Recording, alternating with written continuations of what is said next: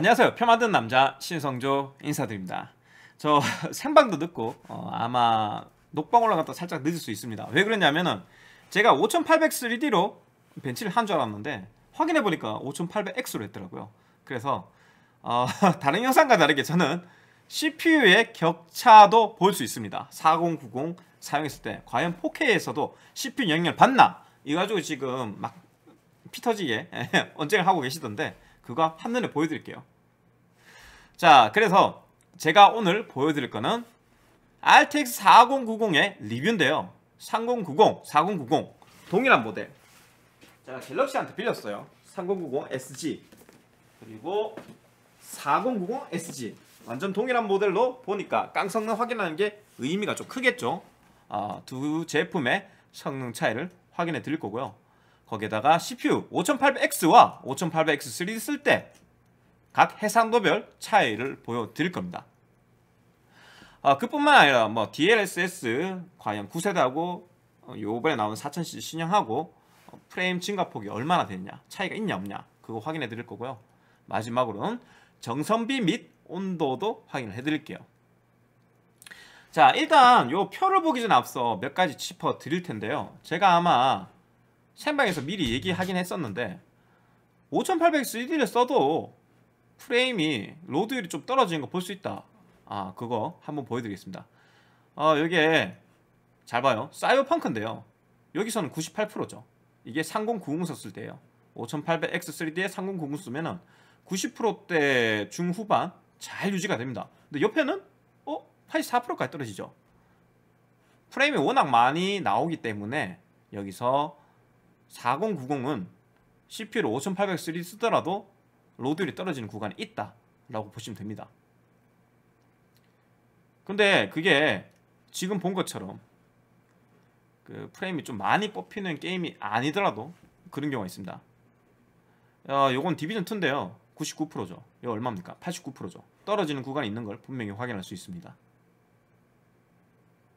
그나마 상구치 토탈화는 얼마 차이가 안 나서 그냥 계속 100% 찍어준다고 보면 돼요. 넘어가면 되고 어, 메트로 엑스더스도 워낙 고사양 게임이고 100프레임도 안 찍히는 게임이다 보니까 CPU에 대한 차이가 거의 없다고 보면 됩니다. 근데 그건 어디까지나 5800 3D 썼을 때 얘기고 5800X 쓰면 다를걸요. 그건 이따 보여드릴게요. 어, 보시면은 5800 3D 써도 Shadow of Tomb Raider 같은 경우 load율 차이가 크진 않지만 2% 이렇게 쫙 유지되는 거 볼 수 있어요. 거기에다가 지금 Assassin's Creed 가면은 뭐 10몇 프로가 차이 나죠. 이런 식으로 게임에 따라 조금씩 다르긴 하지만 4090은 성능이 워낙 좋기 때문에 5800 3D 써도 몇 프로 혹은 몇십 프로가 떨어지는 구간이 존재했다는 걸 우리는 볼수 있었습니다. 뭐 근데 사실 5800 3D나 12900K, 12700K 정도 되면은 어, 제 기준으로서는 오케이예요. 왜냐하면 저는 떨어지는 구간이 잠시 떨어졌다 복구되고 잠시 떨어졌다 복구되는 건지 계속 막 80% 70%가 유지되는 건 아니거든요.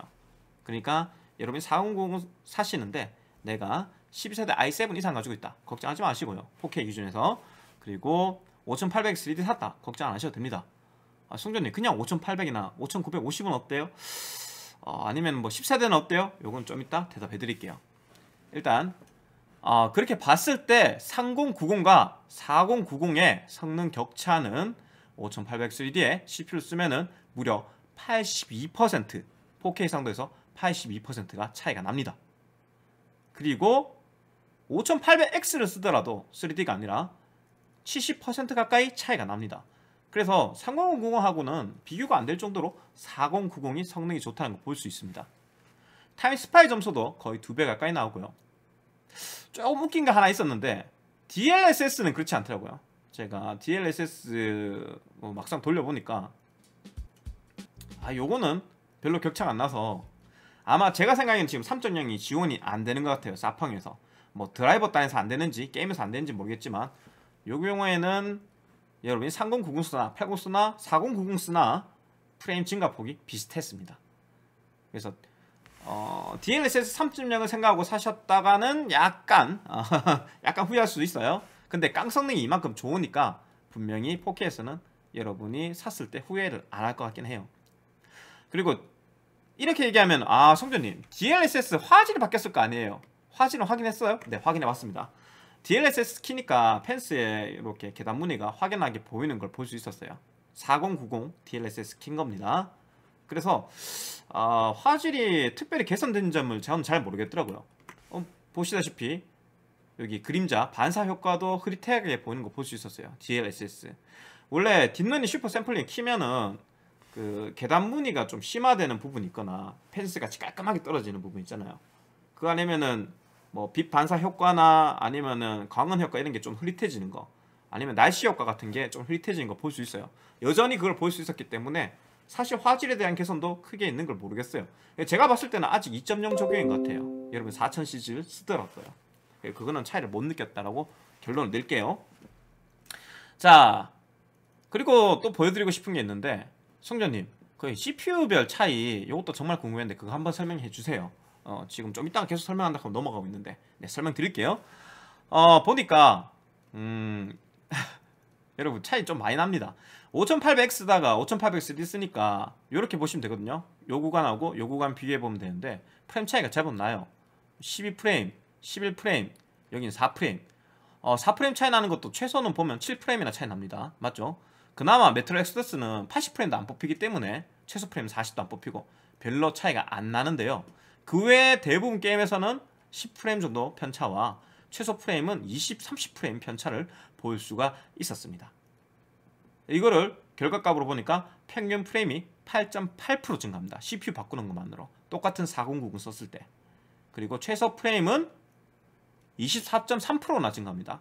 여러분 실제로 화면이 좀 끊긴다고 느끼는 구간은 0.1% 구간도 아니고 평균 프레임 구간도 아닙니다. 뭡니까? 1% low 프레임 평균이 화면을 끊긴다고 느끼는 그런 부분이 되는데요. 그게 24%나 차이 납니다. CPU를 바꿈으로써 4K 해상도에서요 꽤 크죠. 3090 때는 성전님이 뭐 그렇게 심하게는 태클 안 거신 것 같은데 3090은 어떤데요? 3090은 여기서 요 구간 보면 되겠죠. CPU 바뀌어봤자 평균 프레임 0.3%밖에 차이 안 나고 1% 프레임도 3.8%밖에 차이 안 나요. 그래서 이거는 민감하면은 뭐 느낄 수는 있겠지만 보통은 모를 겁니다. 그래서 여기서는 제가 여러분이 젠 3 정도만 쓴다 그러면은 4K에서는 사실 별로 태클 안 걸었어요. 고사양 게임 위주로 한다고 쳤을 때. 물론 로스타크나 아니면 롤, 배틀그라운드 이런 중사양 게임 하시면은 당연히 여기서도 차이가 나는데요.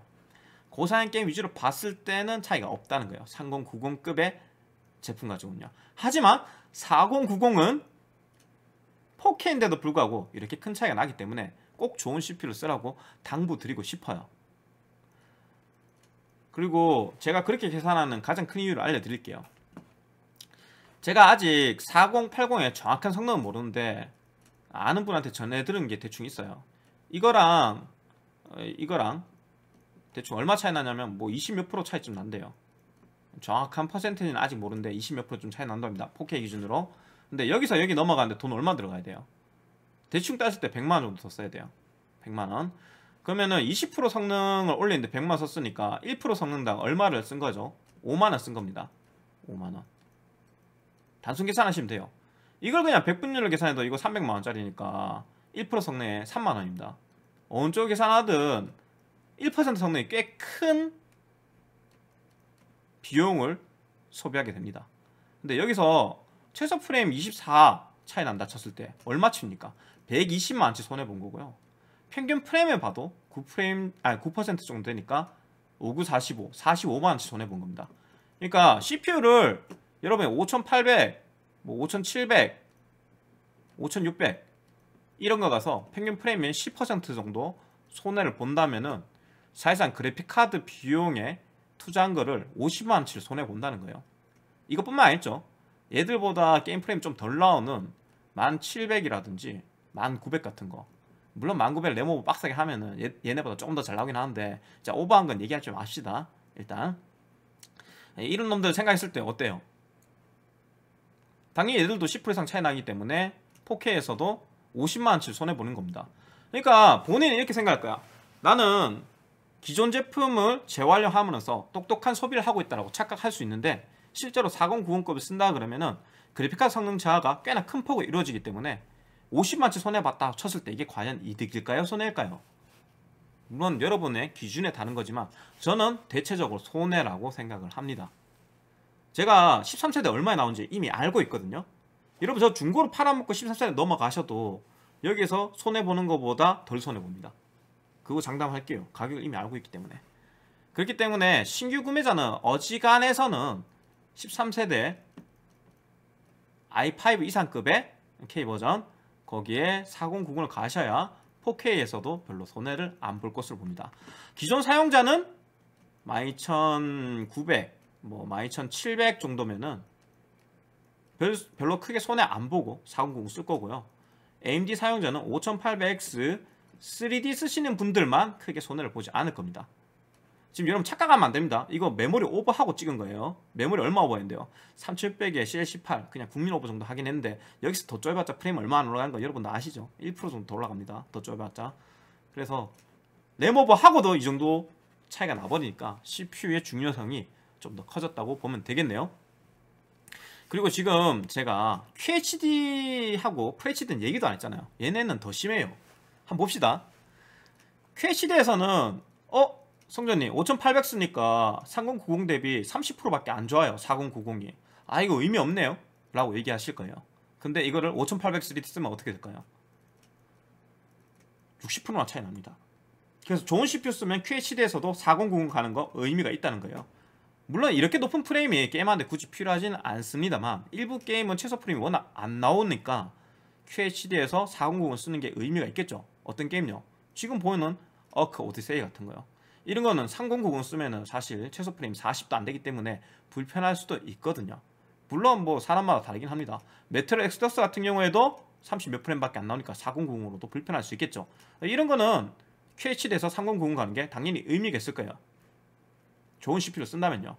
그래서 이런 분들은 한번 고민해 볼 만 하죠. 이런 진짜 초고사인 게임을 한다면요. 그럼 FHD는 어떤데요, 성전님? 아, 씨, FHD는 솔직히 안 가도 될 것 같아요. 왜냐하면은 CPU 좋은 거 쓰면 40% 차이 나는데요. 아니, 사실 3090으로도 대부분 게임 프레임이 이렇게 잘 뽑히는데 굳이 굳이 굳이라고 생각해요. 어, 굳이 3090을 갈 필요가 없다고 생각합니다. 물론 뭐 나는 144 모니터 어, 최소 프레임도 거의 100 정도 방어되게 쓰고 싶다 하면은 4090 가야 될 수도 있어요. 근데 그런 경우가 아닌 이상은 사실 프레시드에서는 4090은 좀 오버가 아닌가. 여러분이 그냥 3070이나 3080 정도 쓰시고 약간의 옵션 타입을 통해서 원활한 프레임 뽑고 쓰는 게 이득이라 생각합니다. 좋은 CPU를 쓰더라도요. 눈에 딱딱 보입니다. 아 그리고 CPU에 다른 이제 QHD, FHD는 성능 격차가 더 커져요 여기서는 뭐 그래도 8.8% 24.3%였지만 여기서는 어떻게 돼요? 평균 프레임도 25% 넘게 차이 나고요 최소 프레임 30% 정도 차이 납니다. 아, 프레시도 마찬가지예요. 평균 프레임 30%, 최소 프레임 30% 정도 차이 납니다. 그래서 해상도가 낮으면 낮을수록 CPU 영향을 더 많이 받는 걸 우리는 볼 수가 있었습니다.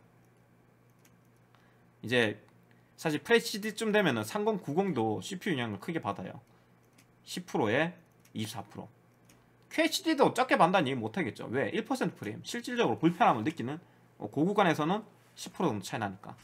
예, 여기 여기급에서도 CPU는 중요하다 봐야 되겠죠 여기 위에 급 가면은 CPU가 비교적 덜 중요한데 그거는 3090 얘기고 4090은 여기서도 CPU가 중요하다 라는 걸볼수 있었습니다 자 제가 최종 프레임에서 평균을 내서 성능 차이를 보여드렸는데 게임별 프레임 평균 보면 다르지 않을까요 하실까봐 미리 계산해 놨습니다 게임별로 보셔도 4090하고 3090은 보시다시피 70% 정도 차이를 보입니다. 4090하고 3080도 82% 그리고 3090하고 3080은 원래 얼마 차이 안 납니다. 제가 여러분 3090 산다 그럴 때 자꾸 말리는 게 80 쓰셔도 그 뭐 4K든 프레시디든 10% 안팎이기 때문에 여러분이 굳이 굳이 너무 좋은 모델로 가려고 노력할 필요 없어요. 3000 시리즈 할 때는 그냥 80 정도에서 멈추시면 됩니다. CPU별 차이도 이렇게 프레임을 계산해 놨는데 4K 기준 5800X 3D 가면은 5800X보다 9% 좋다. QHD에서는 25% 좋다. FHD는 33% 좋다. 최소 1%는 24, 33, 32로 어느 구간이든 최소 1%는 차이가 크다. 5800 3D가 월등히 좋은 성능을 보여준다 라고 얘기할 수 있겠네요 어, 최종 평가를 보자면은 4090 성능을 잘 뽑아줄 수 있는 4K에서는 유의미한 업그레이드가 될 수 있다. 4K 해상도 모니터 쓰신다면 거기다 4K 100프레임, 144프레임, 120프레임 이런 모니터 쓰신다면은 진짜 3090에서 넘어갈 만한 값어치가 있는 좋은 제품이다. 4K를 쓰지 않고 QHD 환경에서 4090 쓸 때는 그러면 안 되나요? 아니요. 뭐 울트라 와이드 쓰시거나 아니면 좋은 CPU 12700K 이상이나 5800XD 이상을 쓰실 때는 가볼만 해요. 하지만 CPU가 구릴 때는 솔직히 별로 추천하고 싶지 않습니다. 왜? 격차가 30% 정도로 확연하게 줄거든요. 이런 좋은 CPU 써야 60% 차이가 나는 거예요.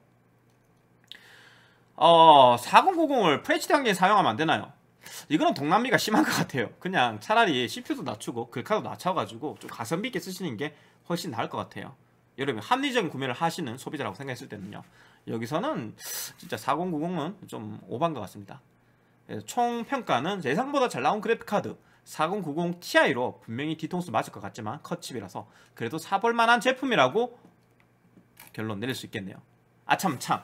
아 전력 소비량이 100 정도 더 증가했는데도 온도는 거의 비슷하게 나오더라고요. 심지어 팬 속이 8% 가까이 낮게 나오는데 6, 8% OCC 돌려봤을 때 그래서 온도에 대한 걱정은 4090은 할 필요 없을 것으로 예상됩니다. 영상은 따로 보여드리지 않을게요. 너무 내용이 길어지니까요. 생방에서 보여달라고 하면 보여드리겠습니다. 자 그렇게 여러분한테 저의 4090 그리고 3090의 성능 격차 CPU별 성능 격차를 리뷰하는 걸 어, 마무리 짓겠습니다. 어때요? 도움이 되셨나요? 실구매 도움이 됐다고 생각하시면 구독과 좋아요 부탁드리고요. 이번 영상은 여기서 마무리 짓겠습니다. 다음번은 13세대 CPU 리뷰로 만나 뵙겠습니다. 여러분 빠이빠이 아 참! 아 지금 영상은 끝났는데 쿠키 영상으로 그 5800X랑 5800 3D 썼을 때 4090의 프레임 격차 4K 기준으로 영상 올라오니까 그걸로 맞아 확인해 주시면 좀 더 제 영상에 신뢰가 가겠죠. 쿠키 영상 있습니다. 진짜 마무리 지을게요. 빠이빠이.